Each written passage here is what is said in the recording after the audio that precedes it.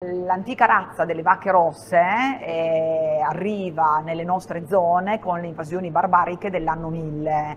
Eh, il parmigiano reggiano delle vacche rosse, quindi il parmigiano reggiano nasce con il latte di vacca rossa eh, circa otto secoli fa nelle abbazie benedettine delle nostre zone, quindi possiamo sostenere che la vacca rossa è la mamma del parmigiano reggiano all'epoca era l'unica razza, è la razza più antica.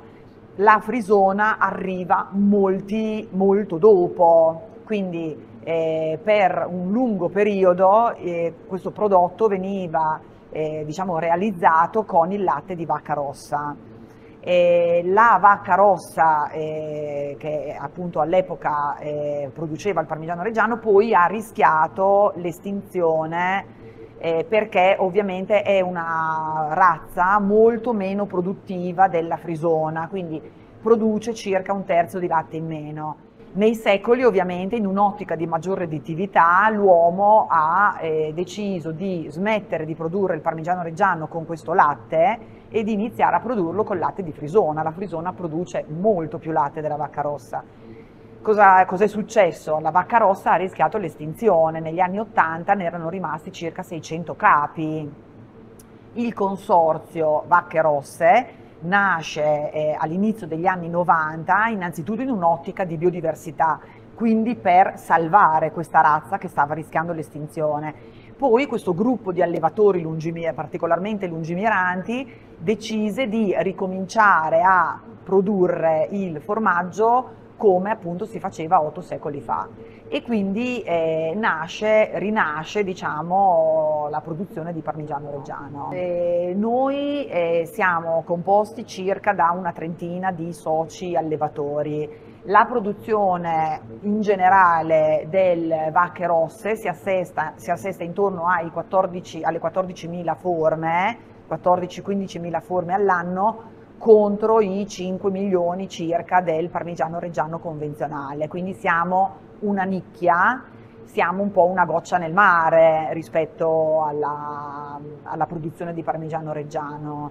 E ci caratterizziamo per un disciplinare specifico, quindi i nostri allevatori devono seguire questo disciplinare che impone loro l'utilizzo di erba verde, fieno, e cereali tassativamente non OGM, quindi per noi il benessere animale è prioritario, cioè partiamo da, da un animale che vive bene, che vive a lungo, perché molti dei nostri animali arrivano anche a 11, 12, 13 anni, fanno meno parti della frisona e diciamo che per noi l'attenzione che mettiamo al benessere dei nostri animali è fondamentale. Innanzitutto tengo a precisare che il parmigiano reggiano, anche quello convenzionale, fatto con il latte di frisona, è un'eccellenza conosciuta in tutto il mondo.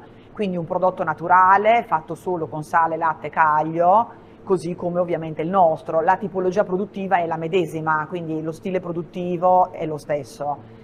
Quello che cambia è il latte, eh? e, quello che cambia sono le caratteristiche diciamo, del, del latte, quindi il latte di vacca rossa è un latte che contiene una caseina specifica che si chiama caseina KBB che è in grandi quantità in questo latte ed è quella che dà eh, una particolare dolcezza diciamo, al prodotto, quindi è un prodotto che è un latte che eh, diciamo, ha un'ottima resa come noi diciamo nella caseificazione quindi un latte che si adatta molto alle alte stagionature. Questo è il motivo per cui il vacche rosse, a differenza del parmigiano reggiano convenzionale, viene eh, messo sul mercato, quindi è pronto alla vendita a partire dai 24 mesi di stagionatura, non prima.